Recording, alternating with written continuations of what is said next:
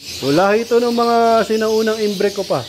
Hindi ito, imbrek. Matagal ko na talaga minimaintain yung lahi ng imbrek. Ano pa, 2000 pa. Year 2000 pa.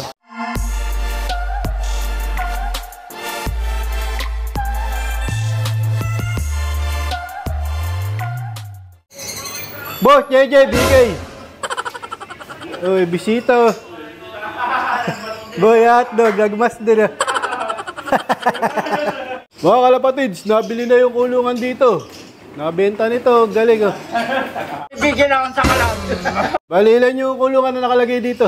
24. Oh, 24 na ano, kulungan. Ah, maluwag na dito mga kalapatids. Gagawin namin tong breederan ng kalapate. So ito na lang yung aalagaan namin mga kalapatids. Nagbawas nga kami ng African. Mga bronze palo na lang. Lagi nga magkasama dito sa perch itong magkapatid. Ayan, yung dalawang grizzle. Bali ano yan, lalaki at babae. Lagi sila magkasama. Baka magpares to mga kalapatids. Magiging inbreed yung magiging anak niyan. Alam, bata pa yan. Hindi na sila masyadong intindihin sa pagpapakawala. Kasi nga, marunong na silang umuwi dito sa bahay. Tsaka rumoronda na sila ng sama-sama. Bali, tatlong magkakaibang edad nga to mga kalapatids. Merong pito dito na mas may edad. Tapos meron ding mas bata, kaya hindi pwedeng pagsabay-sabayin ang pagpapakawala dito sa second batch. Kaya medyo mahirap ang pagtuturo. Dito, wala na akong problema. Kasi naturuan na nga lahat to. Tingin ko nga, wala na mawawala dito. Wag lang madidisgrasya. O sasalpok kapag rumoronda. Iniintay ko na nga lang matuyo ang ilalim ng pakpak nito mga kalapatids para ilalagay ko na sila sa young bird loop. Ganon din tong dalawa na to mga kalapatids. Ito medyo malapit-lapit na nga to na ilagay sa young bird loop. Malalaki na oh. Dito ulit tayo sa colony mga kalapatids. Ito nga, malaki na yung pinaposter ko na anak ng Grisel. Tapos dito yung anak ni Major Payne, dalawa pisa. So halos patapos na rin ako dito mga kalapatids sa pagbibreed. Yung iba ay binabaklas ko na para makapahinga. Para nga hindi malaspag yung mga breeder ko. O dito nga, iniintay ko na lang mapisa yung mga itlog ni Golden. Kumbaga, last clutch na to nila Golden. Saka nitong Vandenbroek. Mga kalapatids, papakita ko nga sa inyo yung bago kong pinagpares na imbrek.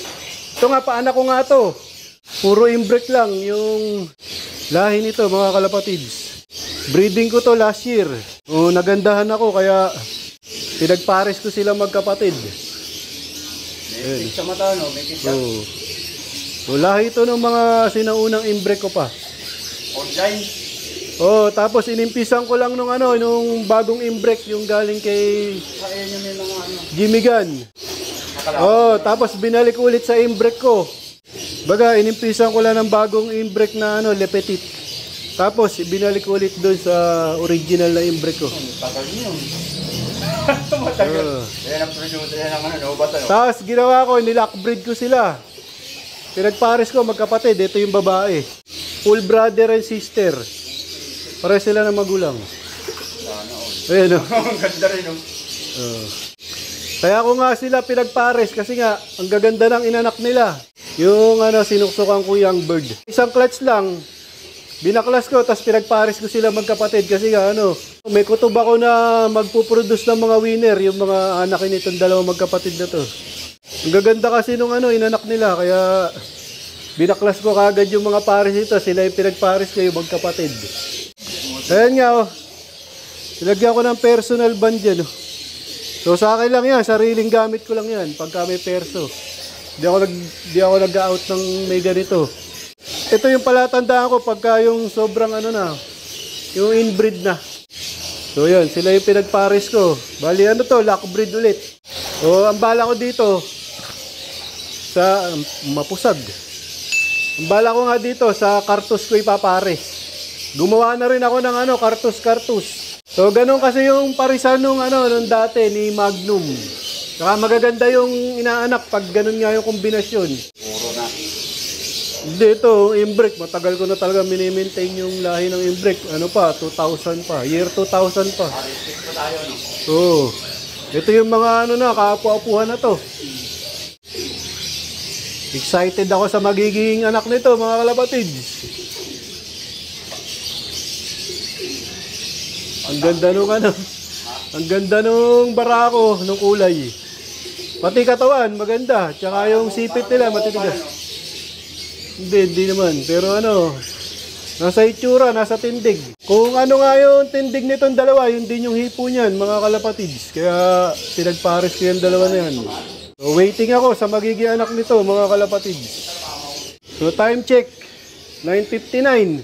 O, medyo mainit naman yung panahon, kaya papakawalan ko yung ano, yung, ilan ba yun? Lima. Anim. Anim na mas may edad dito. Uunahin ko yung pakawalan, mga kalapatids. Pero pinakawalan ko na kahapon yun, mga nakauwi nga kahapon. Ngayon, papakawalan ko ulit. Kaya ako sila inuuna, kasi baka biglang lumipad. Madami iba. Oo, oh, madama yung iba. So, antayin ko muna sila makabalik, saka ako papakawalan yung susunod na ano. Ganun para ginagawa ko sa bahay. Oh, hindi sabay-sabay. Yung pagpapakawala, depende sa edad. Ganun nga ginagawa ko. Yung pinakahuli, yung pinakabata, syempre, yung mga may. May dilaw-dilaw pa. So, ito yung inuna ko mga kalapatids, anim. Yung dalawang brown nga dyan ay kapatid, Demiskikas, mga naka-super set yan. Time check, 10.04. O, pagka-relax na to mga kalapatids, hindi na lilipad-lipad. Sa ako susundan ng pagpapakawala. Baga, hindi sabay-sabay ang ginagawa kong pagpapakawala dito. So, yun, may pumitik na. Yun, dumapo doon sa kabila. O, pero okay lang yan pagka mga ganyan. Yung mga bagong tinuturuan, okay lang magdapo-dapo sa mga kabilang bubong. Para matanaw nila yung buong paligid. Dahil relax na nga yung anim na pinakawalan ko sa labas. O dito naman ako magpapakawala. Ito sila lalabas. So yung mga lilipad dyan mga kalapatids. Yan yung makakalabas. So yung maiiwan, mamaya pa yun. Ibig sabihin, di sila makakalabas dun. So yun, yung ginawa natin pagpapalabas dyan mga kalapatids. So ito na sila mga kalapatids, unti-unti nang naglalabasan. So magdadapuan yan dyan. Time check, 10.42. Mainit na nga yung panahon kaya pinakawalan ko na sila. Yan, haya lang natin sila dyan. Sana tumanaw-tanaw lang sila dyan at walang magpitikan. Yung una nga pinakawalan ko na anim, lumipad na. Kaya relax na sila. Yun, mayroon na. oh. Patay. Yun na. oh. Yun, nakabalik to isa. So, yun na. oh. Lipara na. Patay tayo dyan. Sana makauwi. Ito pa yung iba. Ayaw pang umangat dito. Hang- Hanggang sa ano yan, mga kalapatis, hanggang mamaya yan, hanggang sa pumasok dito sa trapdoor. Ito nga yung second batch. Panibagong pagtuturo na ulit. Panibagong babantayan. Yari, ayun yung tatlo, ang taas.